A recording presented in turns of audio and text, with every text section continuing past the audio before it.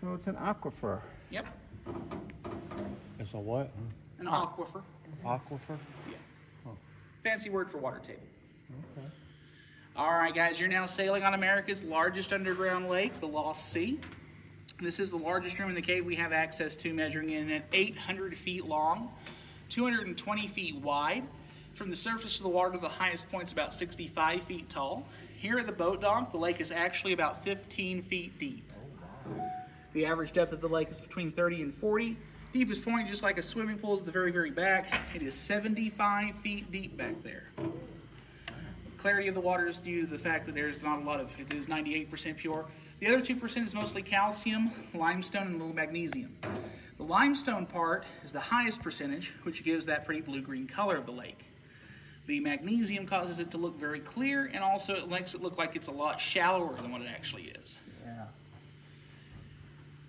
First thing we're really going to talk about are the divers we've had in the lake. We've had two diving expeditions. The first one was in the 70s. Uh, the divers came in, explored the bottom of the room, uh, mapped it out for us, picked up a lot of debris that some of our early guests were uh, departed with.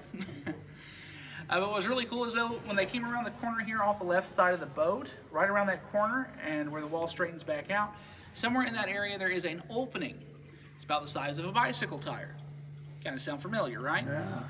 Well, they were brave enough, they swam down that opening, and about 50 feet below this room, it opened up into another chamber. They tied off a lifeline measuring about 800 feet and got to the full extent of that lifeline, exploring that room, and they did not reach the back wall. Oh, wow. They did bring a sonar device down there and kind of pinged off in every direction to get an idea of what, how big the room was.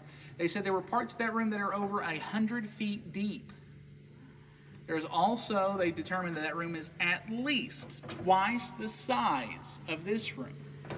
Now, to give you better measurement sizes, this room is about four and a half acres in size, which means that other room is at least nine acres. Hmm. Before they could really explore that other room, though, the air bubbles in their tank started collecting on the ceiling, caused a pressure change, and caused some sediment and dirt and rock to fall from the ceiling. Nobody was injured, but it did cause a brownout. They said it was like swimming through chocolate milk. Couldn't see their hand in front of their face. So, using the lifeline, they pulled themselves back into this room, and they determined it was probably too dangerous to continue exploration down there, uh, worried somebody could get hurt. They use robotics now. Yeah, now they could get. there, too? I'm sorry. Is the bigger room, was it full of water? It was. It was completely filled with water. So does that make that the biggest underground lake? Well, technically, it's not, Not an- a lake. Technically, it's not a lake. It's an under it's an underwater chamber. So now, if the water had it would filter down to that room, yes, that would become the world's largest. The world's largest underground lake is beating us by about a half an acre. It's in South Africa. It's called in Namibia. It's called the Dragon's Breath Cave. Now that cave is actually a very sulfuric cave, so you have to use special equipment and breathing apparatuses to be down there. So technically, this is the largest underground natural cave or natural lake you can actually take a boat ride on. So. I knew it was the biggest in North America, I didn't realize it was second Yep. biggest in the world. Yeah, as far as we're aware, it's the second largest in the world. Do these guys think we have food? Yes. Uh, the fish, since we're starting to see a bunch more of them, I'm going to go ahead and talk about them. The fish were originally put in the lake in the late 60s as an experiment.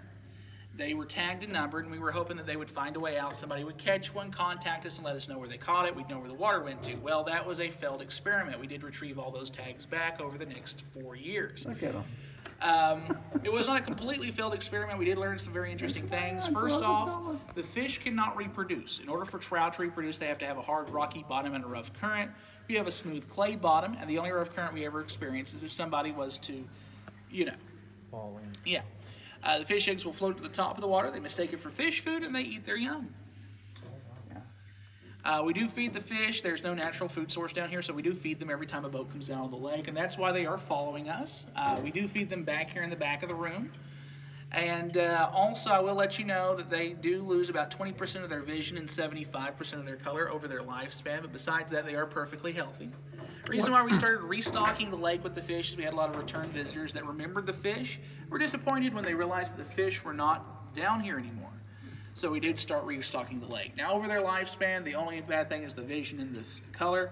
They do live two, about a year or so longer down here than what they do in the wild. Will warn you, I am about to feed them. They do tend to jump, if you've not already noticed.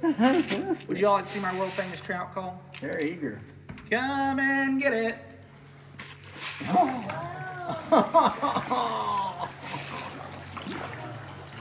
Woohoo! Now, funny story about the fish. Um, they have jumped in the boat before. I'll bet. Most memorable time that happened was in the late 90s. We had one jump in the boat, land in a lady's lap, scared her so bad she beat it to death with her purse. Oh, my. That's just nice. Very nice lady named Linda. Uh,